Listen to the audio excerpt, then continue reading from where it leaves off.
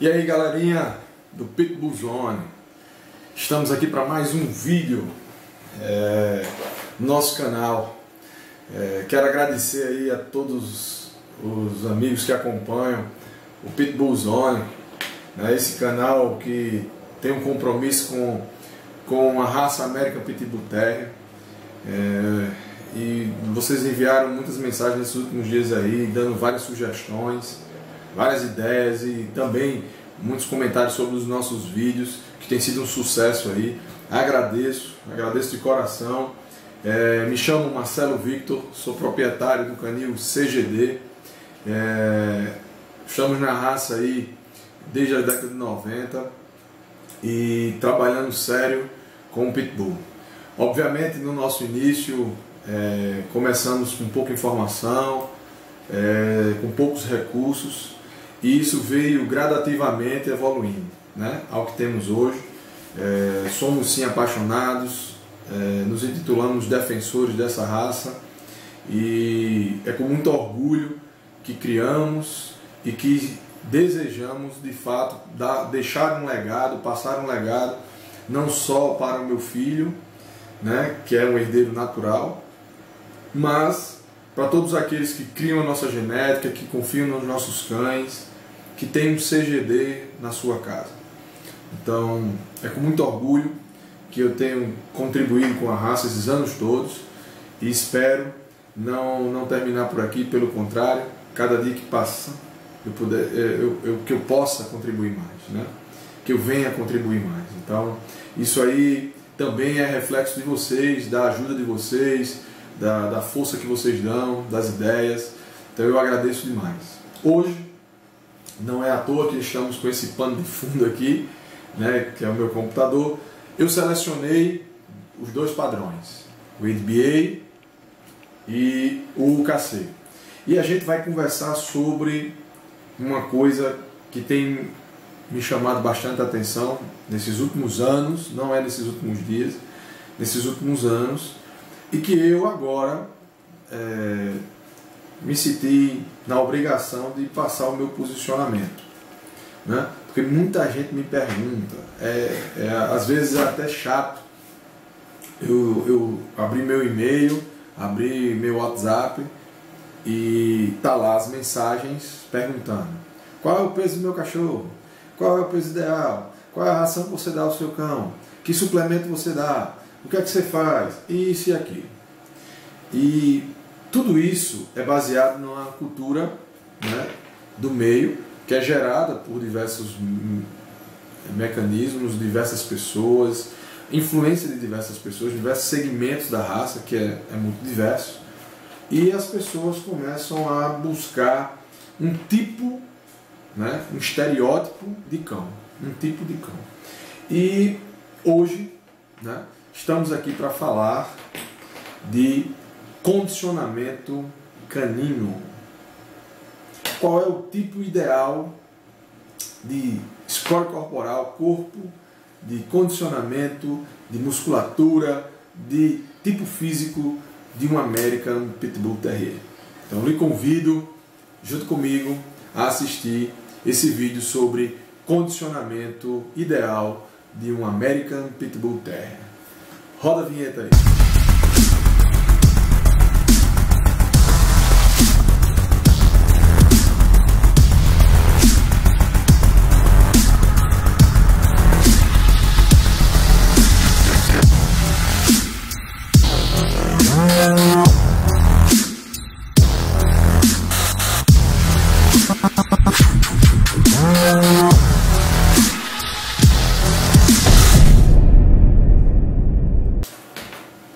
Isso aí, galera. Vamos falar sobre condicionamento de pitbull. Na verdade, vamos falar sobre condicionamento geral, né? Condicionamento de, de cães de uma forma geral. E espero que vocês curtam bastante e apreciem bastante. Vamos primeiro para o que o padrão fala, né? Eu vou, eu pincelei um pouco aqui do, do padrão da UKC e do ADBA. Eles não divergem, basicamente é, um com o outro, apenas quando chega na parte traseira, é, que um pede volume o outro pede leveza e seco. mas no demais eles são bem, é, estão bem conectados, tá? Então diverge também um pouco com relação ao peso. É, a UKC ela pede um cão mais leve, né? E a IDBA deixa um espaço muito grande, de 13 até 34 quilos. Né? Mas todas as duas pedem um equilíbrio, todas as duas dizem que não é tão importante, e é assim que a gente vai conhecer aqui um pouco para conversar sobre condicionamento. A gente precisa primeiro ir para o padrão, para depois a gente chegar a um entendimento correto sobre a questão do, do peso certo, do, do condicionamento certo para um América Pitbull Terrier. Vamos lá? Vamos comigo? Então tá aqui, ó. Esse primeiro, esse é o padrão da UKC, né? Ele começa a falar aqui várias coisas, eu traduzi, obviamente, traduzi simples, fui, fui lá no site da que eles é, atualizaram o padrão deles agora, né? É, então desde 1898 até hoje vem sofrendo alterações, já o da EDBA, que foi feito em 72, ele vem de 72 para cá também sofrendo suas adequações, todos dois atualizaram recentemente. Né? Então vamos agora para o da UKC, e depois a gente vai para o NBA. Vamos lá? Ele diz o seguinte: ó, o American Pitbull Terrier tem uma longa história de ser uma raça fisicamente ativa, né, muscular e muito ágil. Então ele já diz que o cão tem que ser muscular, ele tem que ter musculatura. Você vendo ele, você tem que ver um cachorro forte. Né? É, outra coisa que ele fala aqui é que a qualidade nunca deve ser sacrificada em favor do tamanho. Então, olha só o que é que o padrão já indica: a qualidade do resultado, tá certo? A performance dele não deve ser de forma alguma sacrificada em questão do tamanho. Porque quanto mais você cresce o cão, quanto mais você dá peso ao cão, menos rendimento ele terá na maioria das funções exercidas hoje pelo cão, tá? Então vamos lá. Ele diz: características que indicam claramente cruzamentos com outras raças não devem ser toleradas. Olha só, cruzamentos que, que indicam né, outra raça. Então, eu vejo pessoas aí falando sobre, eu vou ser bem direto, sobre cães camelotes, cães Thompsons. É, é até uma, uma indelicadeza com os, os verdadeiros Thompsons. Né? Vocês usam o nome Thompson porque, de fato, é, o Thompson se viralizou né, no, no, Brasil, mas todo mundo sabe que os primeiros cães Thompsons eram puros, eram puros de origem, eram cães descendentes de Max of Palacios e é, Jaguar Gutierrez. Então, é, esses dois cães é, pertencem a históricas linhas de sangue da, da UKC e da EDBA de conformação, cães Red Nose, cães OFRN, cães Castilhos, Lassan, Renfel, Sarona, Close, é, Crenshaw, é, Dibo, né, é, Hazels, cães Hazels. Então são cães lendários, Corvino, Colby, são cães históricos, né, é, que descendem de linhagens históricas. E infelizmente vocês usam o nome desses cães de forma de comercial. Todo mundo quer vender filhote. Né? Eu quero, acredito que vocês querem. É, mas eu acho que vocês deveriam ser sinceros com a história dos cães de vocês. Então, muita gente buscou esse tamanho exacerbado, buscou né, cães muito altos, muito fortes, e obviamente é nítido que vocês cruzaram com outras raças. É nítido. Qualquer pessoa que conhece um pouco de sinofilia, que sabe o que é um cachorro, quando olhar para o seu, saberá que ele não é um pitbull puro ele é mestiço. Então para de usar o nome de cães lendários como Thompson, como Castilhos, como Lassan, ou qualquer outra linha de sangue que tem história, que tem nome, que tem serviço prestado para o American Pitbull Terrier. Use só Camelote, que Camelote de fato tem a história dele misturado com mestiços, então seria bom, mas Thompson não. Respeita o nome de Thompson. Né? Guilherme Thompson fez um lindo trabalho e ele merece respeito. Então, o padrão fala sobre isso. Características que indicam claramente cruzamentos de outras raças não devem ser toleradas. Isso é não só no peso, né, mas é na orelha, nos olhos, no, no formato do crânio. Quem conhece é, é, é, a ossatura de um pitbull, conhece a anatomia de um pitbull, tanto na estrutura e na dinâmica dele, quando vê, insere outra raça, muda tudo, muda na movimentação, muda no, no corpo, muda em tudo. Então, quem conhece sabe o que é um puro e o que é um mestiço. Tá bom? Vamos lá, continuando. A Alcacê não está disposta a, a tolerar a, a validade do uso de espécies exageradas. Então, a Alcacê, nesse, nessa atualização do papel dela, ela, quando ela começou a abrir para o RI, né, como vocês sabem, é o resist inicial, quando ela começou a abrir o singular resist, ela abriu para poder fazer essa diferenciação entre Staffordshire, entre Bully, entre Pitbull, tá certo? Ela começa a diferenciar isso aí. E no padrão do Pitbull, que, que é sem dúvida é, o cão que antecede todos esses outros, é, ela deixa muito claro que ela não quer inserção de outras raças. Ela deixa isso muito claro, inclusive no programa de DNA dela, tá certo? Então, ela já se posiciona no próprio padrão, dizendo que não vai ser, não vai tolerar e não vai validar esse tipo de, de cruzamentos, tá bom? É, tudo isso para não perder esse rendimento, essa versatilidade. Eu vou falar um pouco sobre essa versatilidade do Pitbull. O Pitbull hoje, obviamente, todo mundo sabe que ele foi criado para rinha, né? que é abolida, é, é, ilegal e nós não praticamos e não fomentamos esse tipo de prática. É, então, passado sobre isso, a gente precisa adaptar nossos cães, porque eles são atletas, eles são versáteis, eles são fortes, então cheio de energia para ser gasto. E como bons companheiros que os pitbulls são, para dizer o melhor companheiro de um atleta, ele não é o melhor companheiro de um cara sedentário, né? É, de uma pessoa idosa que não quer caminhar, que não quer, enfim. Mas para você que é um jovem ou uma pessoa que gosta de esporte, não existe melhor companheiro do que o pitbull. Então, hoje a gente adaptou é, há vários tipos de exercício, vários tipos de exercício. Né? Existe o, o, aquele spring pulling, que é você fixa algo na parede, tem uma mola, né? E algo que ele segura um pano, um equipamento daquele de guarda, uma corda, seja lá o que for que o cachorro goste. E ele mota, nos Estados Unidos eles usam até uma bola de borracha assim, que os cachorros gostam, encaixam bem na boca. Enfim, cada um tem o seu apetrecho ali que o cachorro busca, né? É, que na verdade você tem que começar esse condicionamento desde filhote é, de caça para quando ele começar a se exercitar de fato quando adulto, porque filhote você não vai exercitá-lo dessa forma. Mas o, o, cão adulto ele já pega ali, então ele fica meio que, que forçando, a mola vai trabalhando ali, trabalha essa parte de dorso dele, lombar, né? Essa parte fica bem resistente mesmo, ele muda muito ali inferior do cão ali por, por conta desse exercício. Então, dá uma pesquisada aí, eu vou colocar o um nome aqui embaixo, né, sobre Spring Pulling. Tá? Eu vou até botar uma imagem aqui para vocês darem uma olhada sobre o que é Spring Pulling, tá bom? Então, é, outro exercício também que é muito usual é aquele Flirt Pulling, que é tipo uma vara, a gente faz isso muito com filhote, né? O flit, que é tipo uma varazinha com, com, com algo na ponta, um pano, alguma coisa que a gente sai rodando e os filhotes tudo atrás e tal. Já você já está é, é, jogando com o instinto dele de caça, né? E quando ele segura ali, fica naquele combate e tal.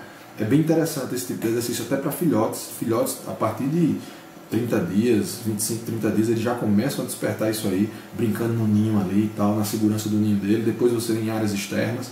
É um excelente exercício para você começar a fazer com o seu filhote, tá? Então, o flip pulley, essa varinha é muito boa, tá? Outro exercício que a gente tem visto muito é, é o treadmill, que é a esteira, né?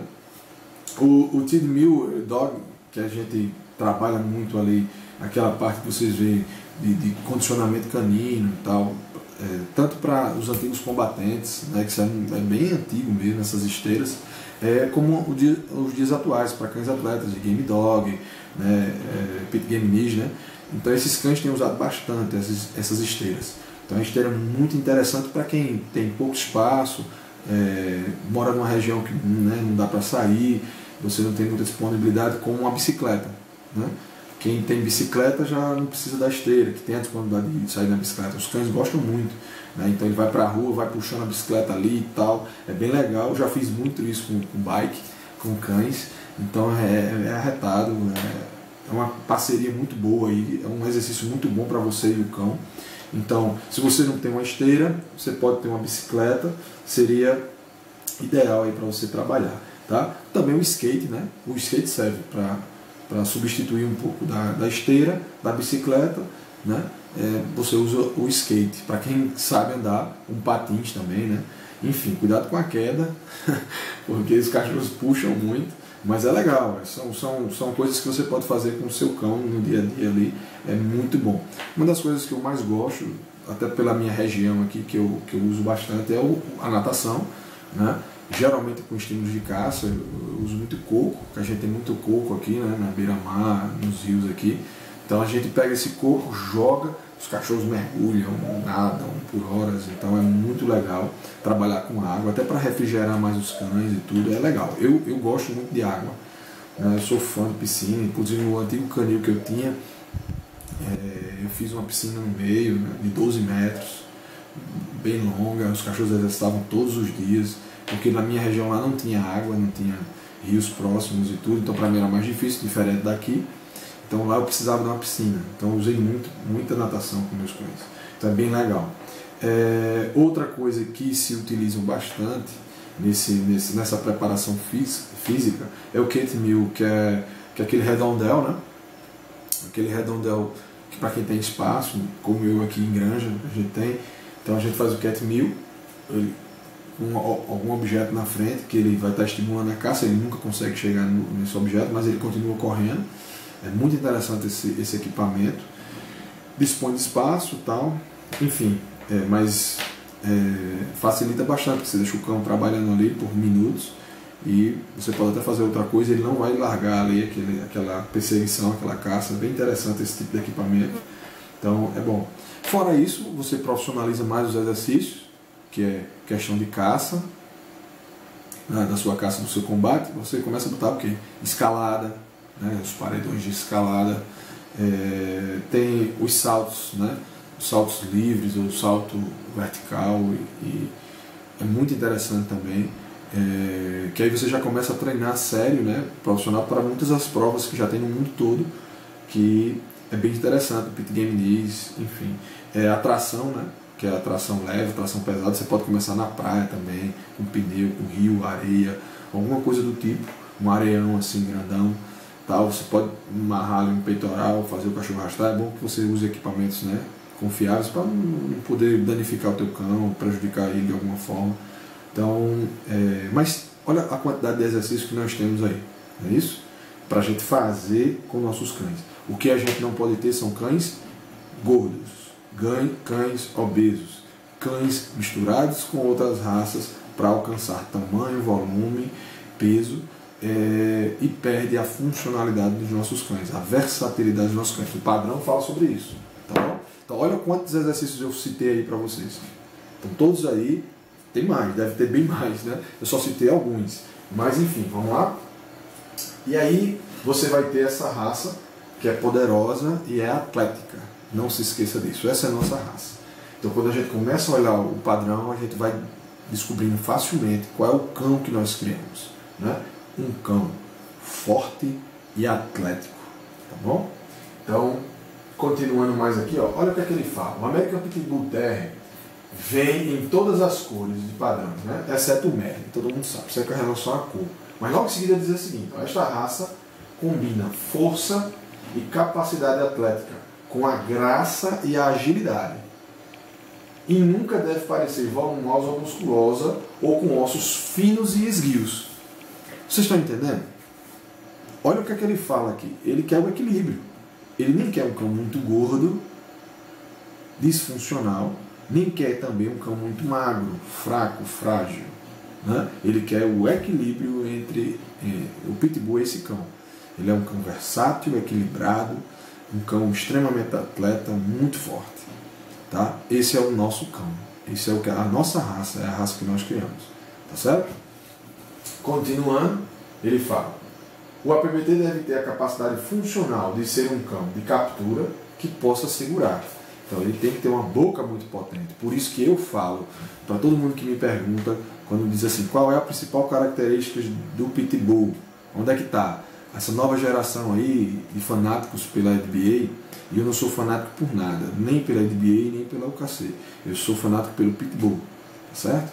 Então eu, eu reconheço as duas entidades como as históricas, as mais antigas. A gente precisa ter um norte, A gente não pode simplesmente né, jogar tudo para o alto, como muitos fazem. Eu não faço isso. Eu realmente eu observo o que a UKC fala e o que a EDBA fala e entendo que a principal função do pitbull está na cabeça. Tá? Para mim é a cabeça, é onde ele morde, é onde ele tem a potência dele, é onde ele tem o poder dele está na boca. Então, a maioria desses exercícios, o pitbull usa a boca. Né? Então, eu queria que vocês prestassem atenção nisso. O pitbull tem que ser um cão de captura, tá bom? É, outra coisa aí, ó, que vocês precisam prestar atenção que o padrão fala sobre naninismo, né? Cães pequenos demais, cães que chegam até 10 quilos, 9 quilos. O padrão já diz, ó, não pode, tá bom? Então preste atenção nisso aí, tá joia? É... Vamos descer mais um pouquinho aqui, ó. Quando a gente desce, a gente encontra algumas coisas falando sobre o pescoço, tá? O pescoço é de comprimento moderado e musculoso. Ele não quer um pescoço muito fino, tá certo? Mas também não muito grosso e curto pelancudo, tá certo? Pescoço de ovelha. Tem muito cachorro aí com isso, pescoço fino, pescoço de ovelha, pescoço curto e grosso, cheio de pelanca. Isso não é pitbull, gente. Não é pitbull. O padrão indica isso aí, tá certo? Então, preste atenção no que o padrão fala para que a gente entenda e descubra quem é a nossa raça. Às vezes vocês falam, ah, não, você é muito caxias, muito chato com relação. Claro, quem é conhecimento. O conhecimento ele nos liberta da ignorância. Né? A gente fica cada vez mais criterioso. Eu sou criterioso com os meus cães. Tem cachorro meu aqui com um detalhe besta, que ninguém nem consegue enxergar. Eu vejo eu quero, eu vou atrás do melhor. Eu quero buscar o melhor sempre. Eu acho que esse é o legado que nós podemos deixar para a raça. Não é para pessoas, não é para entidades, é para a raça. Então eu crio o American Pitbull Terrier e eu quero que os meus cães entrem por gerações. Tá certo? Eu quero que um dia, daqui a 100 anos, esqueçam até quem eu existo, mas que os meus cães permaneçam. Tá bom? Então, se liga nessa questão do pescoço também, que tem muito a ver com condicionamento. A gente vai chegar lá já já lá. Tá bom? Vamos descer mais um pouquinho aqui. Olha o que ele fala: estilo de corpo excessivamente maciço que impede a capacidade de trabalho. Os cachorros que são muito fortes, que tem o, o, a, a costela, né? a costela, o arqueamento de costela muito largo, cachorros com frente muito fortes, é, membros curtos, tá certo? Isso, isso não é pitbull, tá bom?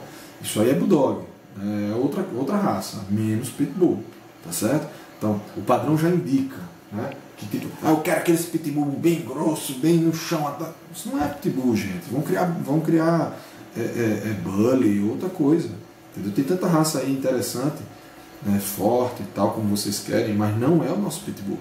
Não é o nosso pitbull. Né? Tem que ter muito cuidado com isso, tá bom? Ele fala aqui, ó, os posteriores são fortes, musculosos e moderadamente largos.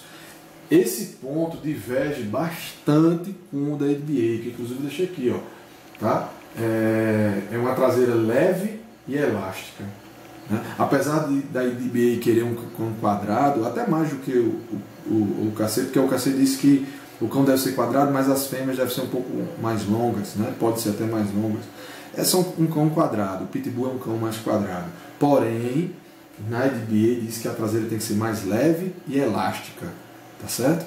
Já na, na, na UKC diz que os posteriores são fortes, musculosos e moderadamente largos. Então, eu gosto mais daqui. Eu não gosto de traseira fina, eu não gosto, eu gosto de ver músculo nos meus cães, por isso que eu tendo um pouquinho mais ao cacete nos meus cães. Eu gosto mais disso aí, tá certo? Apesar de entender bem o padrão da, da ADBA, eles preservam bem esse cão atleta, mas eu, eu, eu no meu entendimento, eu divijo um pouco nessa traseira, que não vem ao caso com relação ao condicionamento, mas é importante ser dito, né, que a traseira da ADBA, ela, ela, a proporção tíbia, fêmur, ela não é de 1 para 1, como a da UKC, que é igual, o osso, certo? O mesmo tamanho da tíbia, o mesmo tamanho do fêmur. É diferente da, da UKC, da, da que é a, a tíbia, ela é, é menor do que a, o fêmur, o fêmur maior. Enfim, ela fala sobre isso no, no padrão dela. Isso muda drasticamente a linha superior do cão, né? que hoje a gente vê muito cão acamelando ali, tem que ter muito cuidado com isso, enfim. Mas eu não quero entrar nessa parte de estrutura agora, vai ser um vídeo posterior. É, mas mexe muito com o corpo do animal, né? Você vendo uma questão dele. Então, a traseira muito fina, com falta de musculatura, a gente tem visto demais.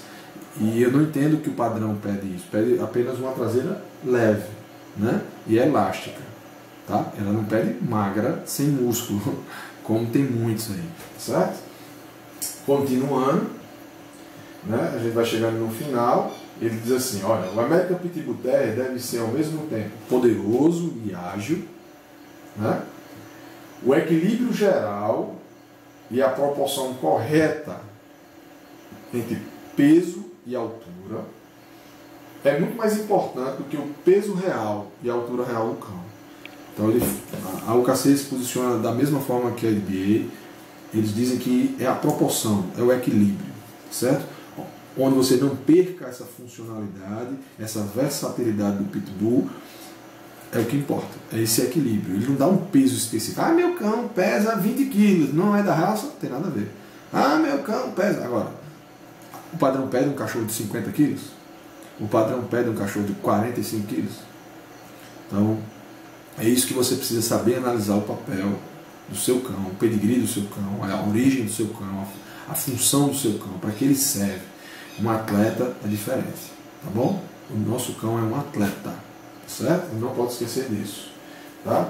Então, é, falta muito séria. São cães excessivamente grandes e essas e, e, e, com a altura e o peso longe do desejado, né?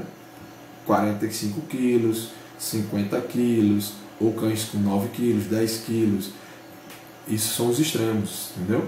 Então não devem ser aceitos e desejados dentro da raça. Ele é muito claro aqui. Tá? E assim termina o papel da, falando sobre a UKC. Quando a gente vai para o padrão da NBA, ele fala basicamente isso. Ó. Tem que ser resistente, tridimensional, dando a impressão de força não leve ou frágil. Então o próprio padrão NBA já fala. Né? Ele não quer um cão leve e frágil. Ele quer um cão que passe força. Né? Então ele diz também que um cão adulto, isso aqui é muito importante para essa parte de condicionamento. Ele diz: ó, a apresentação de um cão adulto deve ser de um animal magro e exercitado, mostrando um toque de costela em uma coluna vertebral, sem que os quadris mostrem. Esse parêntese aí, sem os quadris estarem à mostra, significa que o cachorro não deve, não é esse magro que eles pedem. Vou colocar a foto aqui para vocês verem do campeão da NBA, tá? Para vocês terem a noção exata né, do, do score corporal dele ali, do corpo dele, para vocês entenderem o que é magro né, e o que é condicionamento, certo? Então preste atenção aí. É, e ele cita que o filhote não pode estar dessa forma, tem que ser bem nutrido. Nem deve ter costela, nem coluna, nem muito menos quadril na amostra. Né? Ele fala sobre a questão dos filhotes aqui bem nutridos. Né? Então, é, basicamente, os padrões são iguais, é isso, né? não tem nada de diferente. Toda hora pede um cachorro muito forte. Né? É, a, vou só ressaltar que o padrão NBA pede é, o standard, né? pede é, para incluir o peso de show, o peso show condicionado do cachorro. O ideal está entre 30, né? 30 libras, que significa 13 quilos, né? basicamente 13 quilos. Olha só. E a, ó e 75 libras. Putz, então 34 quilos. A gente tem aí 21 quilos de diferença. Então você pode condicionar, condicionar seu cachorro para entrar em pista, para entrar em pista, até 34 quilos e até 13. Obviamente eu não tenho cães meu aqui com 13 quilos, mas eu também não tenho cães meus aqui com 34 quilos.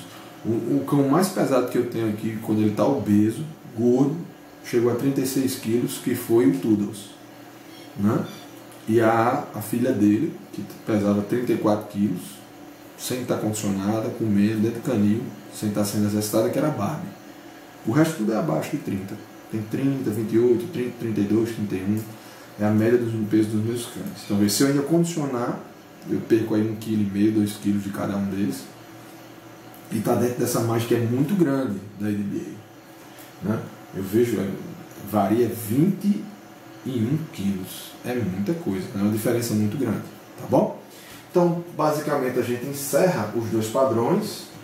Né? A gente encerra os dois padrões e vamos conversar sobre condicionamento, o que eu acho sobre condicionamento. Você em casa deve perceber o cachorro que você tem. Se você tem genética na sua casa, você não deve se preocupar muito com isso, porque o mínimo de exercício que você faça, seja ele qual for, desses todos que eu citei, seja spring pole, seja o fleet pole, seja a esteira, a natação, seja o redondel, seja uma corrida com skate, com bicicleta, escaladas, é, saltos, é, tração, e até as brincadeiras mesmo, você jogar uma bola, jogar um coco, seja o que for. Seja qual é a sua diversão com o seu animal, se você tem o hábito de tirá-lo de casa e passear com você, fazer caminhadas, corridas e etc, etc, seu cão naturalmente não será um cão obeso. Naturalmente, ele terá um corpo de atleta. Então, o que cabe você dar uma boa alimentação.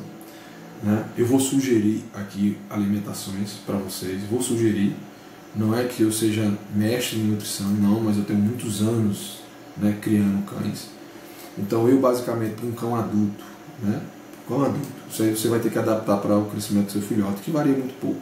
Mas para um cão adulto, se você der hoje 600 gramas de frango, falo pescoço e pé, tá certo? Se você dá 600 gramas de frango, 100 gramas de ração, uma ração boa, tá? Você botar ali 20 gramas de de Aminomix PET, aquele que você compra né, em agropecuária aí grande, é, você não precisa mais fazer nada com o seu cão. Nada. Se você estiver preparando ele para um, um, um esporte, né, uma competição, aí você pode, diante da necessidade, você entrar com determinados suplementos. Existem suplementos para pelo, Existem suplementos para tonificar, para secar, para. Enfim. Tem muitos outros, que aí não cabe a mim aqui estar tá receitando isso para vocês. Mas basicamente o que eu faço na alimentação dos meus cães é isso: frango, ração, aminomix e pronto. Uma boa água, né? Uma boa água, trocada todos os dias, né? Um ambiente sadio, limpo, né? desinfetado. Então, um cão que está sempre sendo vermifugado, mês sim, mês não. Eu, particularmente, aqui por, por estar dentro de uma fazenda, tenho cavalos, tenho gado, tenho tudo aqui, eu vermifugo todo mês meus cães. Todo mês eles são vermifugados, já por isso. E mesmo assim, recentemente eu tive problema aqui com um Erlick e Babese, né? com dois cães meus. Então tem que ter muito cuidado com, com essa questão da vermifugação e não deixar parasitas. Né? Os meus cães eu nunca nem vi carrapato, porém pegou. Né? Isso, obviamente, porque tem um contato, não tem como. Então, é, mas aí é isso. Vocês têm que desfrutar o melhor cão do mundo, que é o American Pitbull Terrier. Então, fica aí esse vídeo. Sei que vai gerar algumas dúvidas, alguns questionamentos. Se você discorda, se você concorda, vai aqui abaixo, dá o cliquezinho aí, que gostou, que não gostou. E acompanha nossos vídeos, marca o sininho aí e manda mensagem pra gente. Manda mensagem que eu vou estar de fato respondendo. Já estou preparando um vídeo em resposta do vídeo anterior, né? E eu já boto esse aqui também no, no mesmo vídeo e a gente pode conversar, debater e fazer com que essa raça cresça ainda mais. Então, estamos juntos. Esse é o canal Pitbull Zone. Chamo Marcelo Victor do canil CGD Canyon. Visita nosso site, tá? cgdcanyon.com.br é, conhece o nosso trabalho e vamos juntos, vamos juntos fazer dessa raça a melhor raça do mundo. American Pitbull Terrier.